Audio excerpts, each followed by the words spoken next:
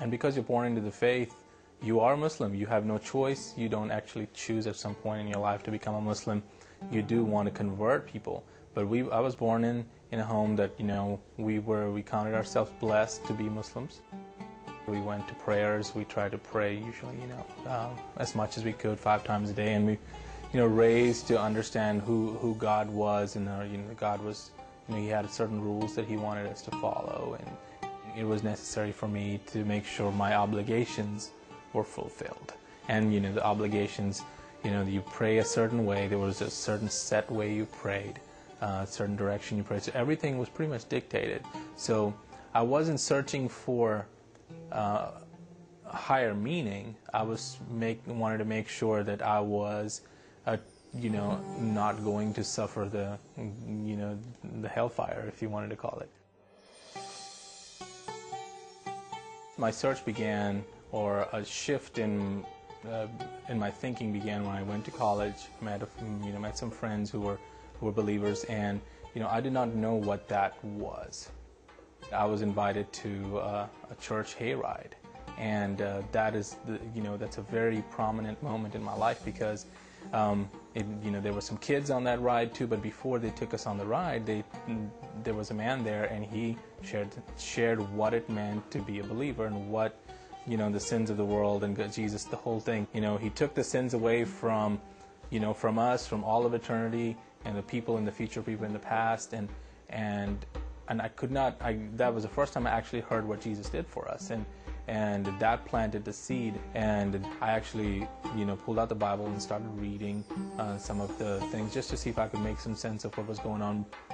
In my mind, um, you know, when debating between uh, converting from one religion to another, um, I felt a lot like a trapeze artist, where if you left one thing that you felt was secure and you and you let go of that, will the other one be there to catch you? And uh, and I, I, I struggled with that a lot. I I thought about you know how uh, Christianity uh, handled situations versus how the Islam handled them.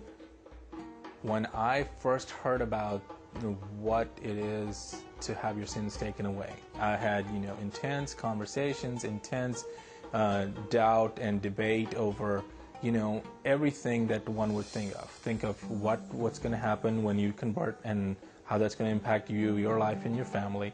Um, just the fact that is is christianity real? And you have to allow yourself to go through all of those thoughts and take them to, to where they take you so you can at least put them to rest. And so i had to uh, allow and i had enough questions uh, that I had gone over and said, you know what, I think this makes more sense than that. And, you know, I think this situation, I think this would be, you know, for example, the love and the forgiveness. You know, if you were a family member and your son, you know, did something they shouldn't have done, you know, after they say oh, you're sorry, you want to, you know, give them a hug, love them, and accept them back. And you wouldn't want him or her, you know, son or daughter to pay a price to come back into the fold. So, you know, those kinds of things just did not add up. You know, you hit a wall, you're not really allowed to ask questions in Islam that much anyway. So when, you know, I was hitting these walls and I knew, so, okay, there's just something about this. And so I just went ahead and I guess, you know, the, the, the, the event they asked me to go to, it's a, it's a crusade that they do. A pastors come out. Uh, they have different ways of sharing the faith for people who might like church a different way. You know, uh, you know, have people share their personal stories. So they, you know, they talked about the power of God. They talked about how God can, you know, uh, can control the spiritual universe, can hold back evil powers, can hold back, um, you know, the bad things, and have great love and power, and give it to you to be able to use it and, and set you free. So, you know, they're you know that was great for me you know i went out and i said i'm going i'm going to t- take the leap you know accept the uh, the lord in my heart. And and you know i'd heard terminology about that and we prayed the sinner's prayer prayer you know. And i think once that was done you know every all these loose ends start to you know start to come together. When i uh, gave my life to the lord at the crusade um, i was you know obviously on a high. At least on that evening. And um, I, I, I felt a sense of freedom. I felt a sense of the things that I was concerned about that stopped me from taking the sleep to begin with were no longer an issue. You, I did, you know, my mom was, you know, very dear to me, and it would have hurt her dearly that, um, you know, this, you know, her son is not a Muslim anymore. But it was as if I had this precious medicine that I had to share, and I had to do what I had to do to get this so I could share it with my family. And uh, so, you know, the concerns that I had were not there anymore, and the excitement was when you I read more about uh, what who God was.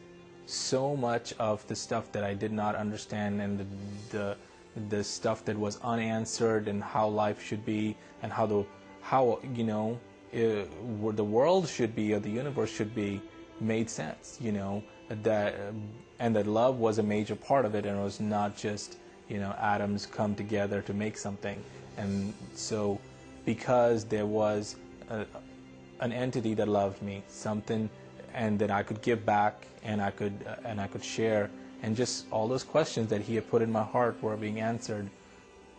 In my time of searching, I had, you know, I would, you know, I would have instances where I would see something that would trigger a, a thought, you know, and one of the uh, one of the things I saw was a um, um, a billboard that that just was so perfect for me. It, it said something like, um, "The problem with a religion that has all the answers is that it doesn't allow any questions. And that was just perfect in the in the belief system that I was in at the time. It didn't allow any questions. It wouldn't uh, it wouldn't let you do that. So you know, and I did also have a dream, and I think back now, maybe I didn't think too much of it at the time, but it was I was dreaming, and plain as day, I saw Jesus, and He said, "I am the way, the truth, and the life." And you know, because I was so involved in all the stuff that I was thinking, I wrote it off as not a not a, a, thing that made me jump, but at least it was it was a contributing factor that when I made a decision to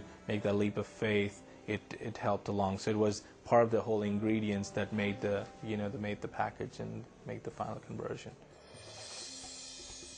As a Christian believer, one of the favorite verses of mine were, "The people, my people, are perishing for lack of knowledge," and I, it related to me you know, in a big way because I came from a country, part of the world, that controlled the information flow in the country, controlled what you, you saw, what you heard, and, um, and because of an additional um, tool of peer pressure and just your, your society watching out after you, uh, you know, you didn't get this information. And I, I, know, I think back now that if uh, Christianity was allowed in freely, they would have so many more converts in that country. So for me, um, you know, I would tell tell those people who are who are not believers yet, who are who are Muslims, say, you know, think about the fact that you might there might be some stuff that's kept from you.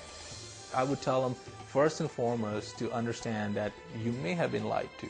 You may have been, you know, information might have been kept from you. And then once you get to that point, you're willing to say, okay, let me read another viewpoint.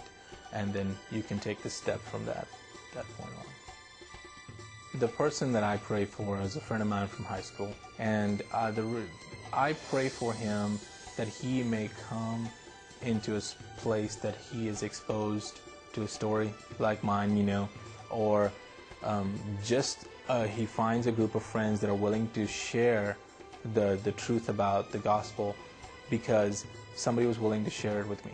And uh, if you if you don't hear it, there's no chance, you know, for you to to to believe and I, I would wish I would pray I pray for him that he hears that and and he really he gets a hold of the the freedom because I remember what his life was like and what his family situation was like because we were all in that and that it would be you know it would be a marvelous thing that if he would uh, you hear that and and and be saved and, and know the Lord.